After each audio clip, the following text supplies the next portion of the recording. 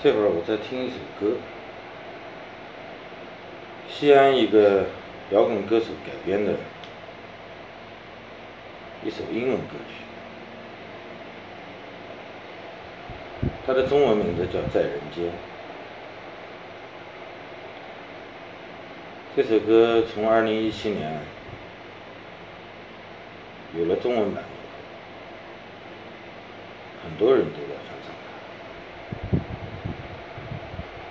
我听过王建航的版本，也听过莫文蔚的，今天我还听了张韶涵的，他改了歌词，把葬礼改成葬礼。现在我们很少能看到一首中文歌里有这么多敏感词出现。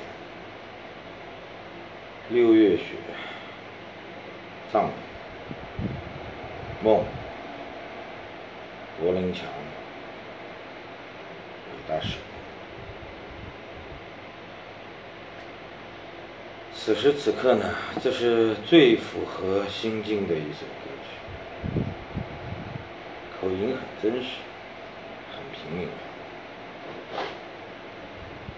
歌词也很有内涵，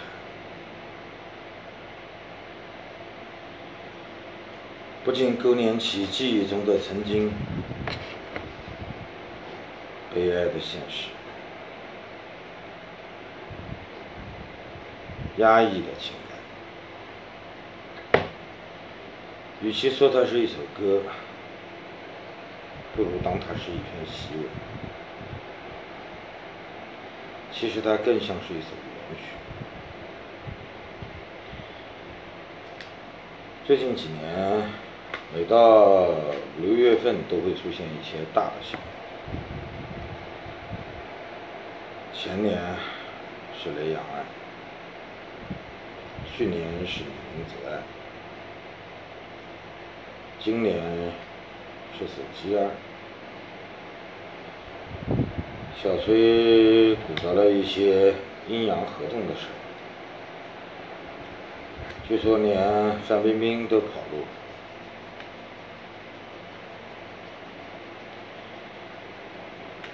为什么每当春夏之交，都要搞出一些大新闻？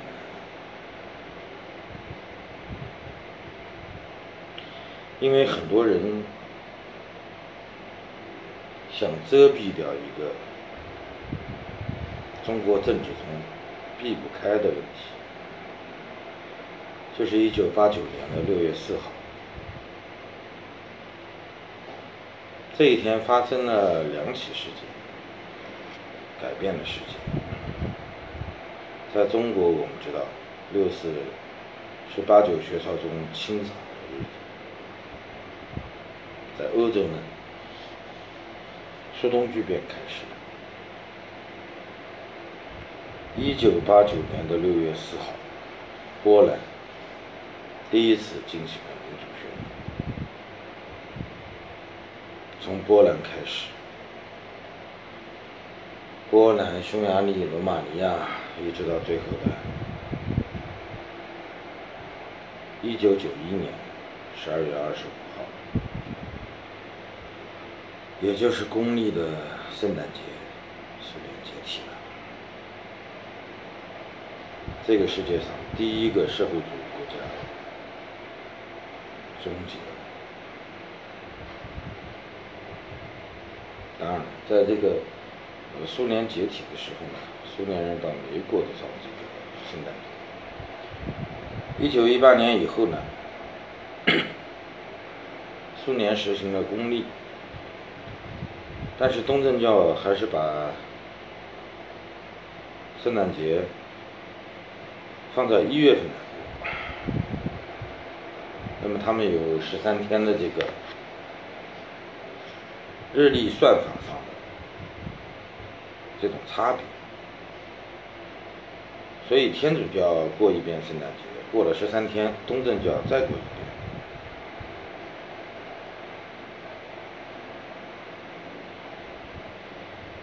一九八九年是中国人避不开的一个日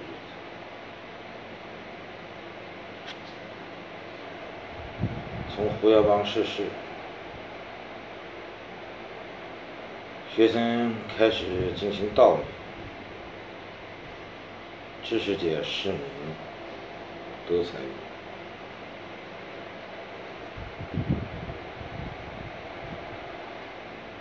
五月二十号戒严，六月四号清场。其实他的根子都在四二六社论，因为四月二十六号，中共发表了一篇社论，把学生的游行定义为是一场反革命的行动。听到这个社论，很多外地的学生都赶去了北京。当年的天安门广场聚集的学生，最多的时候有三十万。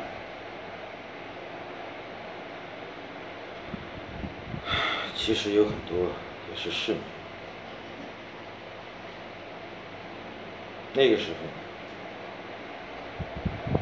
社会有变革的基础。一九八八年，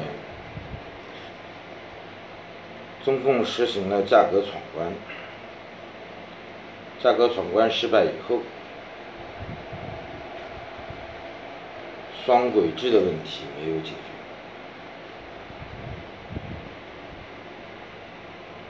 关岛的问题反而越来越严重了。借着胡耀邦逝世的这么一个日子，人们自发的组织起来，走上了街，喊出了一些自己的口号。在这之前，我们知道有一段八十年代初期的这种思想上的短暂的开放。方励之发表了自己的政论，严家琪、司通的万润南，包括国务院政策研究所的一些，当时的所长是王岐山。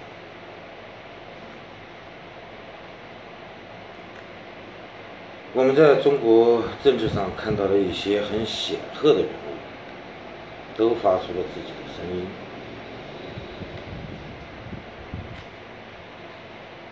赵子阳有进行政治改革的愿望，陈云、邓小平坚决地站在。改革的对的，他们并没有想在进行经济改革的同时实施政治改革。我们看到了很多热血的青年，他们非常希望能够改变中国，尤其是在政治体制上引入民主的模式。彻底的改变中国，改变中国的社会机制。那个年代的青年，不仅仅胸怀祖国，怀揣着一颗天下兴亡、匹夫有责的这么一个信念，同时还对中共能够和平转型。抱有一丝幻想。我们现在经常看到的一些政治意义，从我们耳熟能详的这些，像刘晓波、王军涛、王丹、封崇德、蔡林、刘刚。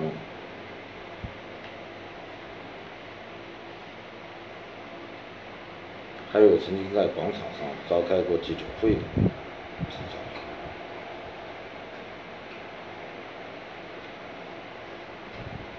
当时他们都是风云人物，他们曾经以为自己能够创造历史。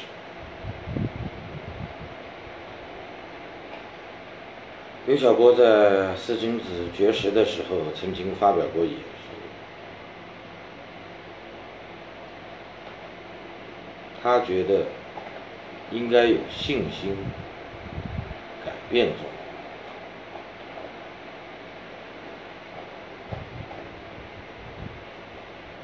他们曾经希望能够唤起，能够让中国走上自由、和平的道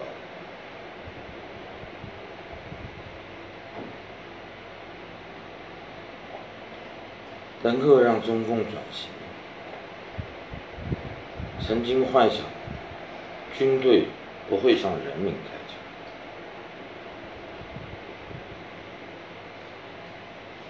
全国各大城市、各大院校参与到八九学潮中的数以千万计。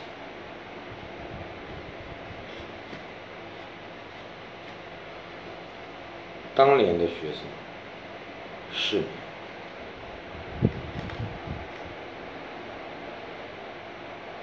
胸中有多少激情？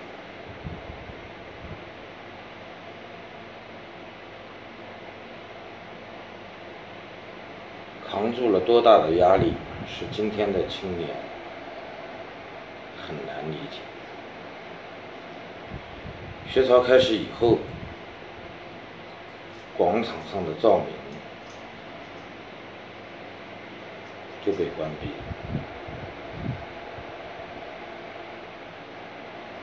夜间完全靠外国媒体记者的摄像灯在照明。广场上不仅有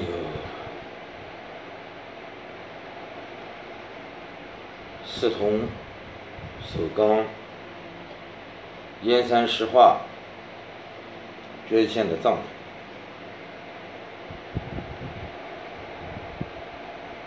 还有很多个体户骑着摩托车来回不停穿梭的传递的一些。油印的小报，散发着来自各方的消息。三五成群的演讲者，在广场的四周发表着自己的演说。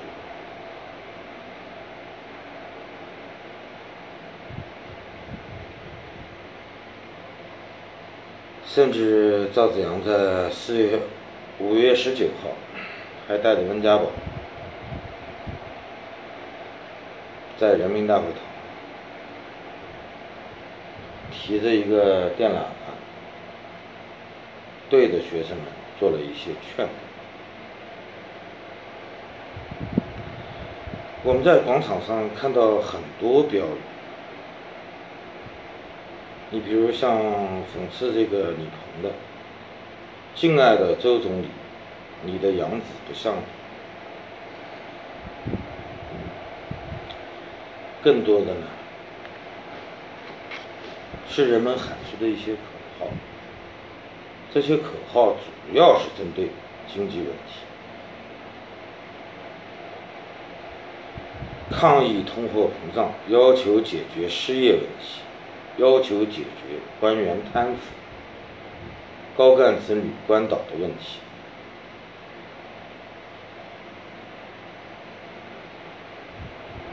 当年的那批情况，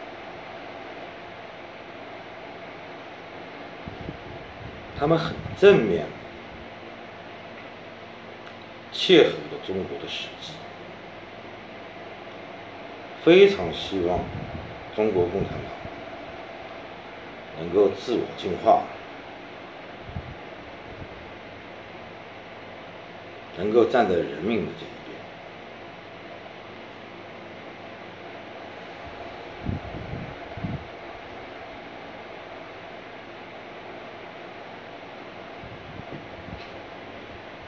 戒烟开始以后呢？我就离开了北京。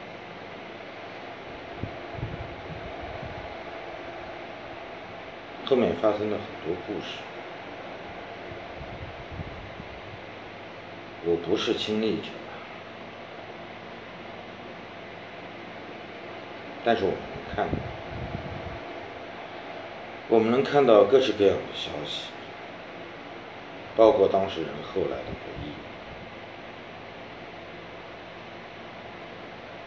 我们看到了中国白白的浪费了这么一个唯一的可以和平转型的机会。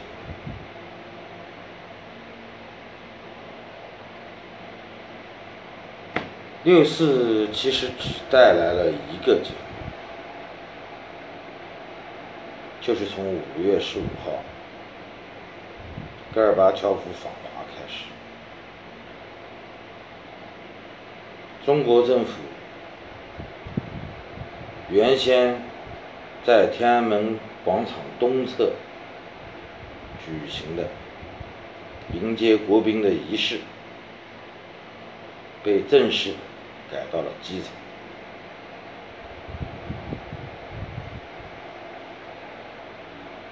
鲜血和生命没有换来任何改变。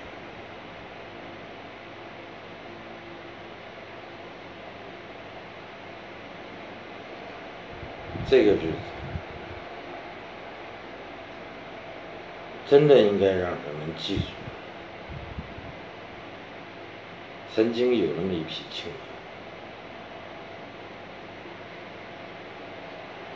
年，为了中国的民主。为了中国的进步，付出了自己的鲜血和生命，我们不应该忘记。